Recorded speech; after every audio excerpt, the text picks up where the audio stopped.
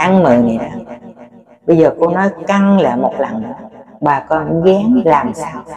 Tu quyết liệt tu bây giờ để tháng 10 không kịp. Bây giờ cô nhận lệnh rồi, là tháng 10 thì cô nói đơn giản thì chú cô không có nói rõ ra được, thì bà con gán mà tu. Chứ trong cái tháng 10 này chu cho qua cái năm này, thì mới ấy là đỡ một chút nha.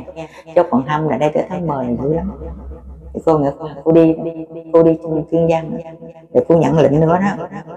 Không phải không, nhưng bây giờ cô không có dám dạo nhiều. Cô chỉ nói cho bà con, nếu mà có tin cô năm những việc vừa qua cô năm nói đã có hết rồi. Đất sập nè lấp xoáy nè, có hết rồi. Rồi cô nói chết đột quỵ cũng có rất nhiều rồi. Nhưng mà tới đây còn nhiều nữa. Đó. Tháng 10 được còn nhiều nữa bà con. Rất là nhiều nữa nên hen, bây giờ cô chỉ có khuyên một điều là bà con gán tu gán tu trong màn ba chiến cốt này đi, cho kịp. Chứ không là, không phải cô năm nói những cái chuyện mà thiên tai những cái bệnh chết chóc là cô nói ra để cho bà con hiểu biết để mà tu. Đó. chứ không phải cô năm nói mà hù ai hết á. Rồi gán mà tu hen gán làm hiền làm lành. Gán làm phước. Thì được.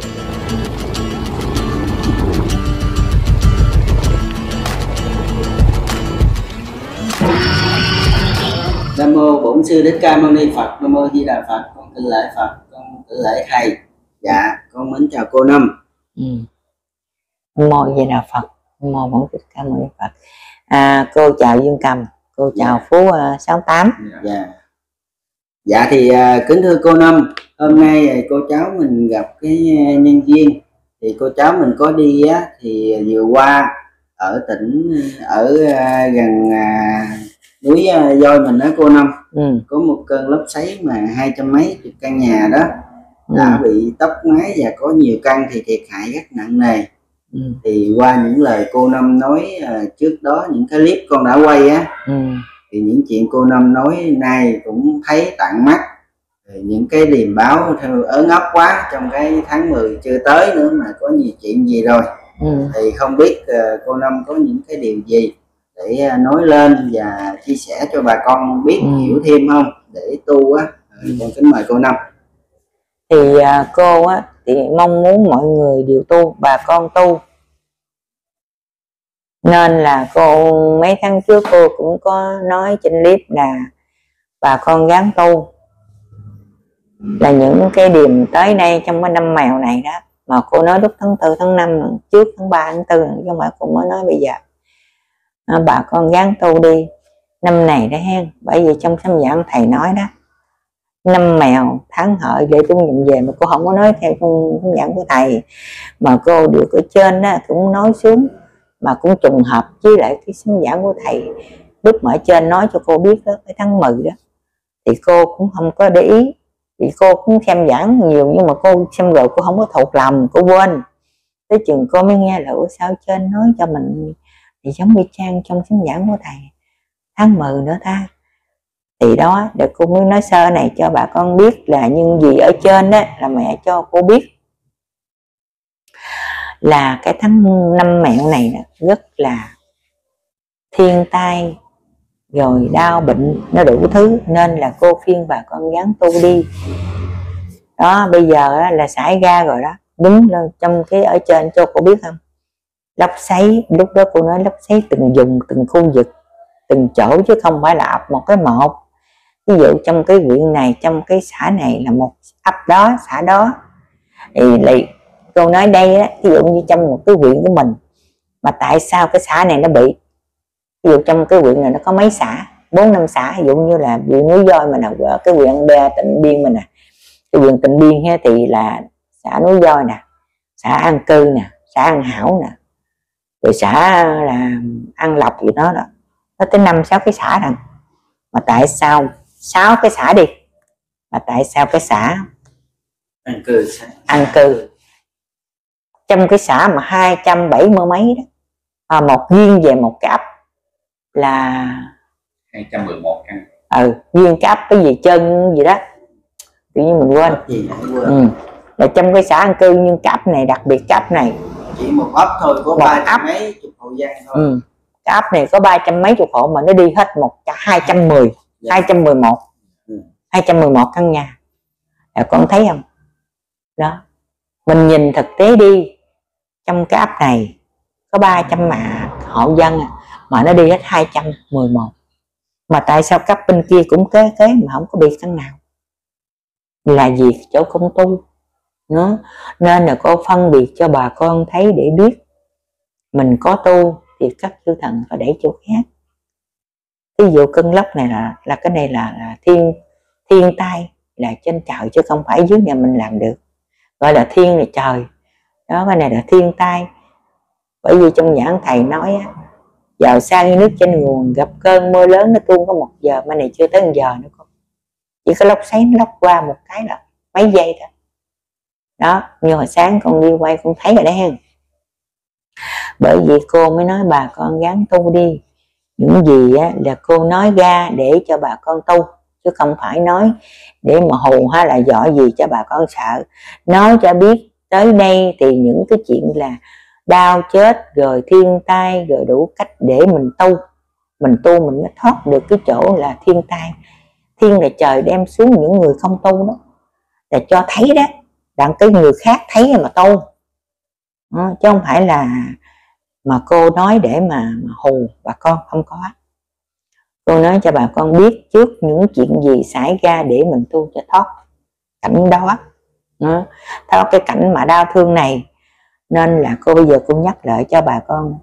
Thấy cô nói trước tháng 3 tháng 4 cô nói rồi trong cái năm mèo này nè từ cái tháng 5 đổ về tới Tết rất là khổ sở. Đau bệnh rồi lốc xoáy sụp đất cái chỗ thì không lốc xoáy thì sụp đất cũng như sụp về mười mấy căn nhà. Đó, còn cái chỗ mà lốc xoáy đó thì nó ruộng đi. Ít nhất cái hôm trước con thấy ít nhất là cũng 10 căn năm bảy căn mà cái đợt này mới giữ nè. Thì cô nói từ tháng 9 tháng 5 tới tháng 10 đó bây giờ lúc trước nó có mà đất bây giờ mới giữ nè. Có một trong cái ấp mà mấy trăm à, hai trăm mười một căn nhà là con tính. Giữ dặn không? Cái lúc trước. ừ, muốn hết luôn. Còn lúc trước thì mười mấy căn. Sụp đất có mười mấy căn. Hôm trước ở dưới ờ, gạch giá đó thì cũng lóc bóc cái nhà đi. Hai ba đâu có năm bảy căn nhà bóc đi. Tốt lên trên rồi buông xuống. Cái là thành cái mảnh là gạch dụng. Đó. Cũng mất thôi. Trận này đây nó mới nhiều nè. Rồi từ đây nghe tết hết còn nữa bà con. Gắn tu đi. Cô nói còn để cho bà con tu đó nha đây cái tết nào mới chết dữ. Bà con gắng tu đi. Gắng tu cho qua cửa diêm phù gắng tu cho được. Phật vào trong tâm thì có chư thần. Những gì xui đến là chư thần phải đẩy ra tới cứu mình. Đó nên cô nói ra những cái những cái thảm họa này để cho bà con tu nha. Tới đây còn nhiều lắm. Chết hen. Đang ngồi là ngang chết. Đang chạy xe vào đường tâm vô nhà chết. Tự nhiên cháy nhà chết chết đủ cách chết. Không phải là chết một cái bệnh không. Ừ. Bởi vì bây giờ cô thì cũng không dám lộ. Mà bây giờ ở trên thì nói cho cô biết rồi. Mà bây giờ nếu mình lộ ra thì cũng sợ ở trên cũng phạt. Nên là cô cũng không dám lộ nhiều, nói mí mí cho bà con nghe thôi. Đó. cái tháng 10 đó bà con gán. Gán ngang, bây giờ cô nhận được cái lệnh ở trên rồi đó. Là tháng 10 đó nên là cô rất thương chúng sanh và thương bà con cô bác. Trong nước và ngoài nước mình nói riêng về nước Việt Nam của mình đi. Đó. Thì bây giờ ở nước ngoài thì rất là đau khổ rồi. Mình không có nói. Bây giờ mình nói riêng cái nước Việt Nam của mình, người dân tộc của mình. Trong cái đất nước này, tháng 10 này đó. Bây giờ cô nói căng lại một lần nữa. Bà con gán làm sao? Tu quyết liệt tu bây giờ đến tháng 10 không kịp bây giờ cô nhận lệnh rồi. Là tháng 10 thì cô nói đơn giản thì chú cô không có nói rõ ra được. Thì bà con gán mà tu. Chứ trong cái tháng 10 này, tu cho qua cái năm này đó, thì mới thấy là đỡ một chút nha. Chứ còn không là đây tới tháng 10 là dữ lắm. Thì cô nghĩ qua, cô đi đó. Cô đi trong kiên giang đó. Để cô nhận lệnh nữa đó. Chứ không phải không, nhưng bây giờ cô không có dám lộ nhiều cô chỉ nói cho bà con nếu mà có tin cô năm những việc vừa qua cô năm nói đã có hết rồi. Đất sụp nè lốc xoáy nè có hết rồi. Rồi cô nói chết đột quỵ cũng có rất nhiều rồi. Nhưng mà tới đây còn nhiều nữa. Đó. Tháng 10 được còn nhiều nữa bà con. Rất là nhiều nữa. Nên hen bây giờ cô chỉ có khuyên một điều là bà con gán tu. Gán tu trong màn ba chiến chót này đi cho kịp chứ không là không phải cô năm nói những cái chuyện mà thiên tai những cái bệnh chết chóc là cô nói ra để cho bà con hiểu biết để mà tu. Đó chứ không phải cô năm nói mà hù ai hết á. Rồi gán mà tu hen gán làm hiền làm lành gán làm phước không thì để bà con cứ nghe cái clip này đi. Rồi nếu tới tháng 10 không có những gì nói ở ừ, cô năm nói có gì đâu. Nghe nhưng mà con gán tin thì 10 hết tháng 10 nghe để mới tới tháng 10 cái. Ừ đó nhưng hôm đó cô nói từ tháng 5 đến tháng 10 thì bây giờ con thấy hơn rồi đó. Hôm trước thì xây lốc xây chỉ vài ba căn nhà bây giờ mấy trăm căn. Luôn như là lúc đó ít ít cái thạng nhiều nhiều. Nhưng cái lúc đó chết ít ít bây giờ chết nhiều nhiều.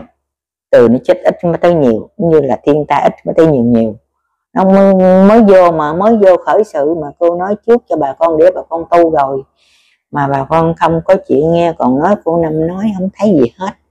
Cô năm giá chờ giá phật cho đừng có tới để cho bà con khỏi khổ. Mà bà con còn nói không thấy thấy cho bà con đau khổ cái gì. Đó nên là cô năm rất là thương bà con của bác trên cộng đồng này. Tại vì cô đây thì cũng được lệnh của mẹ khuyên cho bà con tu mà bà con nào có nghe thì tu không nghe thì thôi chứ cũng đừng có là bình luận mà nói cô là ngồi đây để chờ tiền ăn không có đâu. Cô cũng không có ăn bao nhiêu già cả rồi. Cô cũng có nhà cô, cửa cũng có lương của chú ăn rồi cô đâu có phải ăn tiền của bà con mới được mà. Cô lấy để làm gì? Khi mình sanh ra hai bàn tay trắng. Khi ra đi trắng hai bàn tay đem theo được cái gì? Nhà cũng đâu có đem theo được thân này giả, nhưng mà cô có một câu này bình luận, cô nói, thân giả, nhà giả, nhưng mà nhờ cái giả này nương với cái thiệt để mình tu. Mình tu được rồi mình bỏ cái giả này. Chứ không phải là có người nói tại sao giả mà còn là còn biết giả mà còn lấy tiền. Đó nên cô nói với bà con á, có giả mới có thiệt. Nếu bà con có cái hồn thiệt mà không có cái xác giả này làm sao? Nhưng mà mình biết giả thì mình đừng có dung quén quá, mình tạo cái nghiệp quá nhiều. Giả là mình ăn cho vừa đủ no, vừa đủ bẩn. Còn làm có dư ra làm phước, để tạo cái phước, để khi cái xác này giả, bỏ, thì cái hồn mình được hưởng cái phước đó, mình được công đức đó, mình mới được đi về cha mẹ mới cứu mình, phật mới cứu mình. Mình biết giả mà mình vẫn dung dưỡng cái giả là không được. Cô nói như vậy đó, bà con hiểu không? Thí dụ mình biết nhà giả thân giả, vật chất đều giả, đừng dung dưỡng. Đừng phải bồi đắp cho cái giả này nó quá. Mình biết vừa đủ ăn, vừa đủ bận, vừa đủ ở được rồi. Biết giả, biết rằng nó giả đó. Nhưng mà mình đừng có tạo cái cái giả này nó quá thành cái, một cái khổng lồ. Mình để cái số tiền đó mình làm phước. Có nghĩa là cô nói như vậy, chứ không phải là cô kêu là tại sao giả mà còn đi là ăn không có phải mình ăn để cho sống sống để mà ăn, chứ không phải mình, người ta sống để ta ăn, phải không? Còn mình ăn để sống, có nghĩa là ăn cho no được, vừa đủ sức để mình có cái thân này, nó được mạnh dở mình tu. Đó, chứ không phải mình sống để mình ăn cho cao lương mỹ vị. Nên là giả thì cũng phải giữ nó một chút, chứ không phải là nói giả rồi bỏ luôn rồi lấy cái đâu mà cái cái thiệt nó có cái giả nó mới nương với nhau được. Bây giờ bà con cứ nghĩ đi nếu bây giờ á cô nói đó có cái thân này giả mà không có cái thân giả thì sao bà con nương vô để tu? Mà mình biết cái thân này giả thì mình đừng có dung dưỡng nó quá vừa ăn vừa đủ vừa bận để cho cái thân nó mạnh khỏe chút xíu thôi để mình tu. Mình nhờ vô đó để mình tu. Giống như mình có cái nhà để mình ở mình tu còn mình không có cái nhà mình ở ngoài đường sao mình tu? Thì cái thân này cũng như cái nhà. Đó, mình vừa đủ thôi. Thầy cũng nói nè thân này tứ đại có chi đâu mà chắc mà lo dung với quén. Không dung dưỡng quá mà cũng không ép sát quá. Nên là mình vừa ăn vừa đủ của nó thôi. Thầy có nói rồi thì nếu mình người đạo thì mình cũng vẫn biết. Thầy nói trước cho mình biết, thân này là tứ đại có chi đâu mà chắc. Nên là ăn cũng vừa đủ, cũng đừng dung quén cho quá. Cũng đừng có sung sướng quá, nên thoái quá quá thì nó sanh ra hư. Mình ăn cao lương mới vậy, mình ăn cao lương mà vị rồi mình sung sướng quá thì cái mình quên cái tu nên là mình không ép quá, mình không không có ăn dung dưỡng quá. Nên bà con phải nhớ cái chỗ này, có thân thì mới có hồn. Thì cái hồn mới nhờ vô cái thân. Mà bà con có biết không? Cái hồn này đó là mãi mãi trường tồn. Vô lượng kiếp, cái hồn vẫn mãi còn, không bao giờ mất. Nhưng cái xác này là mất giống như cái nhà mình ở một năm, mười năm, hai chục năm nó mục thì mình bỏ cái nhà đó. Mình phải cất cái nhà khác. Thì cái xác này giống vậy đó. Khi mình chết rồi đó, mình chuyển lên kiếp khác thì mình mượn cái xác khác. Nhưng cái hồn nó vẫn còn, cái hồn đó. Chứ không có đổi cái hồn nào khác. Nên là cô mới nói cho bà con biết là không phải cô nói đây để cho bà con gửi tiền. Gửi tiền đi cúng làm từ thiện à. Cô đâu có ăn hết đâu. Đâu có làm gì mà ăn. Đại chú cũng có lương mười mấy triệu một tháng. Thì trong khi á thì cũng khoan mua mấy đứa con đi làm giúp ví dụ của bà Hà nè. Thì cũng có mấy đứa con nó làm phụ mới được. Rồi lo tu bổ trong chùa chuyện đây. Ở đây tuy rằng cô không có để cái bán chùa, chứ nhà cô giống như chùa. Đó. Thì cũng lo cho phận sự, lo cho chúng sanh. Chứ cô không có làm gì duyên tư tại vì mình tu mà nó ngộ rồi cái giác ngộ rồi. Thì mình giác ngộ thì mình biết giác ngộ là như thế nào. Giác ngộ là mình không đem của chúng sanh mình làm của riêng mình mình của chúng sanh, mình làm tất cả cho chúng sanh. Mình đã tu giác ngộ rồi, mà mình còn đem của làm gì? Đem vô đây rồi chết có đâu có đem được. Ví dụ giờ cô lớn tuổi đi, mà cô thì chẳng có con. Không lẽ việc cô lấy của chúng sanh cô để làm vậy này? Để cho ôm cái tạo vô gì rồi lát mình chết, hai bàn tay trắng. Khi chào đời trắng hai bàn tay, khi ra đi bỏ cái cái cuộc đời thế gian này cũng vẫn trắng hai bàn tay. Không có đem được cái gì. Nên là cô rất là giác ngộ. Bà con đừng có nghĩ rằng cô năm nay là làm những gì gì không có. Cô nói bằng tấm lòng chân thật của cô. Cô chưa biết á, là khi mà cô ra đi cái ngôi chùa chùa này để, để truyền nói cho ai nữa. Mà đem cổ vô để làm gì? Để giữ để làm gì? Đó. nên là cô làm cái gì những gì tất cả cho chúng sanh. Làm tự thiện nè. Có khi người ta gửi ít tiền ta cho ăn cô lấy cô làm luôn. Thực tế luôn đó không phải mà cô nói đây là đi trên mạng này để cô nói cho bà con là thương cô đâu. Nhưng thật sự có sao cô nói vậy? Có khi người ta gửi là phát trăm phần quà nè. Mà mua đủ trăm phần quà, mà cô thấy mấy ông sư, tôi nghiệp không có tiền, cô lấy tiền túi, cô bỏ bao thơ. Nó vậy đó, thì dù người này cho qua đây thì mình đắp qua đây vậy thôi chứ cô không nghĩ gì hết. Nên nên là cô phiên bà con là một cái chữ tu. Mình tu mình phải giác ngộ ra, đâu là chân lý đâu là chánh, đâu là tà, nha. Chứ không phải mà tu đại tu càng mà cô nói đến đây đó thì cũng đụng chạm với những cái các binh đồng đạo. Vẫn là cố chấp mới tắt thời đi nè. Rồi xin của bà Hà, của cô. Nãy nhớ cãi đó. Mà xin bao lần không biết cô lại. Ấy cô năm cổng trời nói, không phải, cô năm ở đây nè cô năm nay là ai? Nếu ông sinh của hòa ta ba ông lần sao không biết không biết cô năm? Ồ chống cự nhỏ lắm. Mà thôi như mình nói để nghe thôi. Bây giờ trở đi vấn đề là cô á, khuyên bà con dán tu, không còn kịp. Đừng nghĩ gì hết, cứ tu đi. Nhưng thì tu á, thì thiên tai đó, bà con thấy đó. Tại sao cái chỗ này không có mà chỗ này có? Mình tu là chưa thằng đẩy ra cũng như luồng lốc xoáy là chưa thằng ta đẩy chỗ tránh chỗ khác. Cô Năm cho con hỏi đó có phải là lời cảnh tỉnh để cho bà con biết không cô thì cảnh tỉnh đó con trong khi á, làm gì cho cái ấp này nè cái ấp cái ấp này ha ấp kia nó thấy đó. Cảnh tỉnh để biết nhìn để coi cái ấp đó có tôi không? Không có tu là biết rồi đó. Vì cái ấp kia mới thấy gì thôi mình gắng tu đi để ông thôi, tới nhà mình nữa. Nó cảnh tỉnh cho bà con, thức tỉnh để tu. Nhưng mà cũng không có thức tỉnh được con ít lắm. Bị gì con biết làm sao không? Chúng sanh màng này nó vô minh. Bị gì vật chất, rồi cái những cái nhiều kiếp, nhiều nghiệp nặng quá nên không có hiểu Phật pháp là gì chứ, ít lắm. Bởi vì cũng tội nghiệp cho người ta, chứ không phải là mình ghét bỏ gì đâu, cũng tội nghiệp. Bị cái nghiệp dày quá rồi nên bây giờ không có hiểu Phật pháp, cũng không có giác ngộ được luôn nhưng mà trong đó thì cũng có người người ta cũng hiểu được, người ta cũng biết tu. Ví dụ trong cái sớm đó, ví dụ như hai chục người đi, người ta thấy vậy đó. Thôi mình cũng gắng tu, mà tu không biết chữ tu là sao nữa. Nên bây giờ cô lên clip để cô nói cho bà con tu, có người hỏi tu là sao, cô? Tu để cô nói luôn, tu nè, rất là dễ. Bà con á có người không biết tu là gì. Thì cô giải đáp anh đi luôn tu là thứ nhất, mình phải ăn chay cúng lại. Dầu cho ăn không được, bốn ngày cũng được. Thì cái, từ cái chữ mà ăn chay đó là để cho cái tâm mình nó thiện. Mình mới làm thiện việc thiện được. Chứ mình không có ăn chay là mình sát sanh hại vật tâm mình không có thiện. Nên là bắt buộc vào tu thì phải ăn chay bốn ngày rồi cúng lại. Cúng lại là Phật dạy mình trong cái lời văn của Phật của thầy đó là những cái câu là phiên mình làm hiền làm lành. Thì trong đó mình tu, mình ăn chay, mình cúng lại là mình mới nhận ra được cái chữ tu là như thế nào.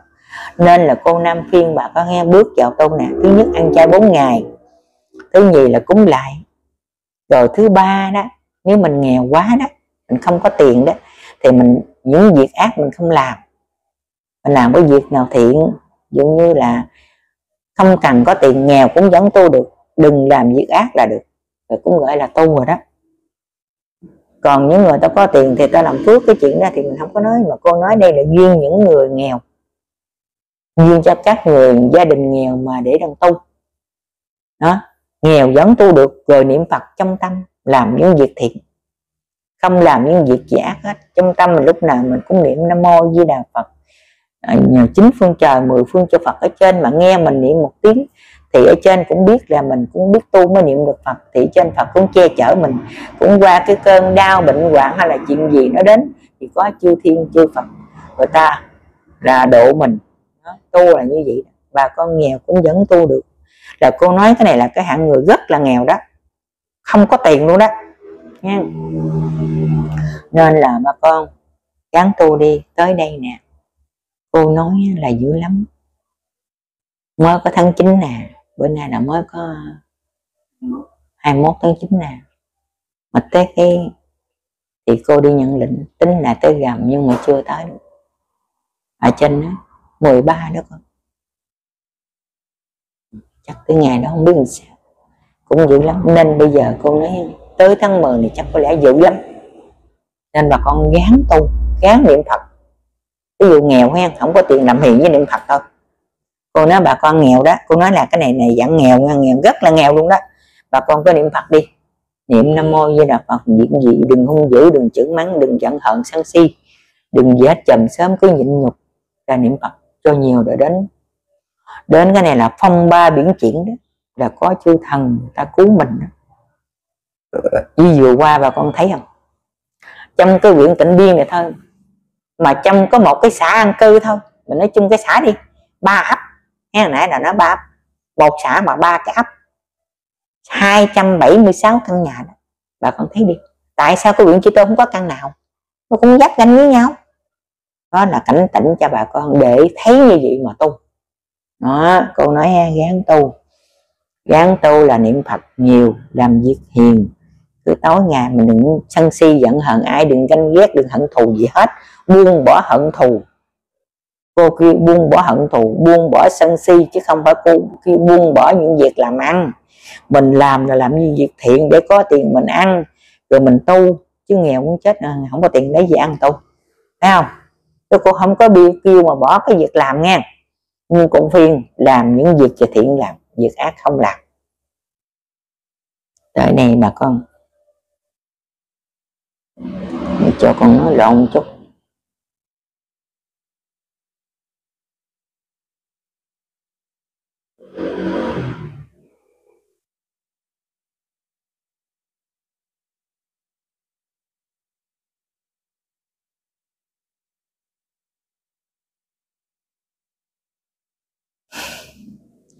Thì nói là chết thôi chứ không dám nói ra. Ừ. nói sợ bên kia đó nên là nói cho bà con biết cái đau thương, cái chết chóc để mà gắn tu đi. Rồi đến đó sẽ thấy sẽ biết hết. Chứ bây giờ cô năm nói ra, là không có được. Trên không cho, sợ hại cái thân của cô, nên không cho. Nói cho bà con biết gán tu. Gán tu cho qua cửa diêm phù nếu mình không tu là màn này xuống chết, là mình xuống đi ngục hết nên là bà con dán ngang cô năm nhắn một câu nữa. Tới tháng 10 thì không biết là như thế nào. Giặc giả chiến tranh thì không có. Bà con đừng sợ giặc miên chưa đâu. Không có. Cô nói cam đoan với bà con là không có giặc miên gì hết. Không có gì hết. Chiến tranh không có. Lo tu để thoát cảnh. Bệnh. Bệnh này là bệnh. Ở trên là phủ xuống để cho lọc lừa sàn sảy những người không tu đó. Rồi cô nói gọn vậy thôi. Là cái này là cô nói ha bà con tu thì mới xong ở trên là phủ xuống đó. Phủ xuống để lọc đó. Lọc lừa sàn sảy người không tu để chết. Nên là bà con gắng bây giờ là trong cái, nói chung là trong cái ờ, xã an cư của mình đó, trong cái huyện Tân Biên đó, thì nhà cửa thì cũng mấy trăm căn nhưng mà con người không có đến đậu nên là cũng mừng. Cũng mừng cho bà con là không có bị tai nạn. Chỉ nhà là mất của thôi chứ còn người, thiệt hại người thì không có. Nên là cũng mừng cho bà con. Bây giờ mình gắn tu. Đó, mình thấy cái chỗ này gì thì đằng kia gắn tu đi. Nó như cái tỉnh này thấy cái tỉnh kia gì thì đằng này tỉnh này mình gắn tu. Mình lên clip mình cũng nói bà con hết rồi. Nên là bà con cô bây giờ cũng không có biết nói cái gì nhiều chỉ là phiên tu thôi. Chứ bây giờ cô nói ra càng nói nhiều người ta nó hụ đó bộ à, bà con muốn cho người ta chết hết thì cô nói hoài. Ông cô nói đây để cho người ta tức là tu mà có nó bình luận nói gì đó. Cô nói là cô nói có những cái cảnh tượng gì đó cho bà con sợ để mà tu cô muốn cứu chúng sanh cứu bà con chứ cô không phải là cô muốn bà con chết đâu. Đó, bà con cũng là cô đây á là cô rất là thành tâm thành lòng. Thương chúng sanh như thể thương thân mình vậy đó. Nên là cô rất là chân thật cô nói những lời là rất là mộc mạc. Cô không có nói cái gì mà những cái lời văn cao siêu của Phật vậy trơn á để cho chúng sanh hiểu tận đáy lòng luôn. Chứ bây giờ cô nói văn chương của Phật kinh sách của Phật ra đi không có hiểu. Không có hiểu. Đó. rồi người ta không biết tu là sao nên là rất là cô nói rất là cặn kẽ. Nên là bà con gắng tu hen. Còn rất nhiều nữa chứ không phải nhiều đâu. Bây giờ cô nói hoài thì ta, ta nói mình hồn thôi bây giờ cô cũng nói sơ thôi. Yeah dạ thì à, cảm ơn cô năm ừ. đã sớm về chia sẻ và cũng có những lời ẩn ý sâu xa ừ. để mong rằng bà con mình thức tỉnh lo tu ừ. à, sắp tới đây tháng 10 này có nhiều chuyện sẽ xảy ra ừ. thì chỉ nói vậy thôi thì à, trước khi kết thúc cái video này thì con cũng chúc cô năm nhiều sức khỏe à, để khuyên bà con tu tiếp nữa và trước khi kết thúc thì mong cô năm gửi lời chào đến bà con dạ ừ môi với đạo phật. Cô thì à, chia sẻ đến đây cho bà con thức tỉnh trong màn ba chiến chót này. Đặng mà tu để trở về với cha với mẹ. Cô rất mong bà con cũng thông cảm mà hiểu những lời cô năm nói để mà tu. Tu thì rất cũng dễ chứ không có gì khó. Nghèo thì tu theo nghèo. Chỉ niệm phật chứ làm hiền được rồi. Đó, là cô nói riêng về những người nghèo mà nói tôi nghèo quá tôi tu không có được thì cô chỉ cho cái những cái người nghèo để tu đó. Thì cô cũng mong cho bà con cũng hiểu những lời của cô năm nói. Rồi để mà tu làm hiền làm lành. Cô nói riêng về những người nghèo nghe. Cô không nói mấy người nhà giàu người ta cũng có tiền tam phước rồi. Ta cũng biết nhưng mà những người nghèo này nói nghèo quá tu không được cô ơi. Sao tu bây giờ? Đâu có tiền nào tu. Thì cô nói đây là dạy những người nghèo đó. Mong bà con cũng hiểu. À, chúc cho bà con hoàn cảnh gia đình nghèo đó phải tiến lên niệm phật làm hiền. Mô di đà phật. Dạ mô di đà phật. Ơn cô năm ừ.